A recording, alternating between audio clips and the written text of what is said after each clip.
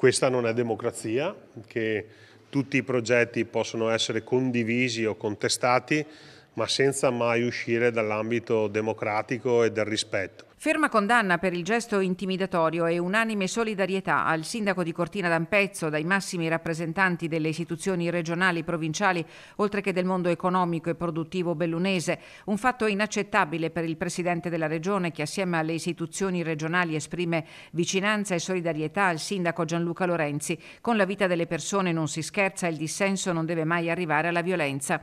Invita le istituzioni locali a fare quadrato il presidente della provincia di Belluno assieme all'intero Consiglio Consiglio provinciale. Il concetto deve essere forte e chiaro, la voce del dissenso non può mai superare il limite del vivere civile.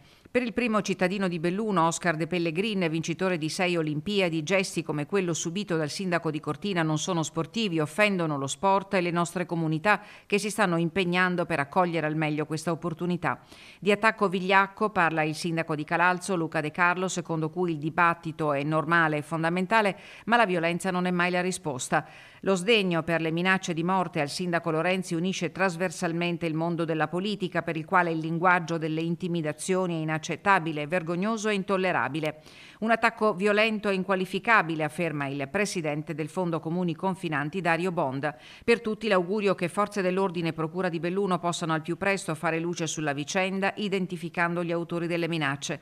L'appello del presidente dell'Anci Veneto. Alla politica, ai, ai sindaci, ai cittadini è quello di ristabilire un rapporto che sia di rispetto, che sia costruttivo e che non esca da, da, dal, dai paletti della democrazia che devono essere alla base di ogni confronto civile.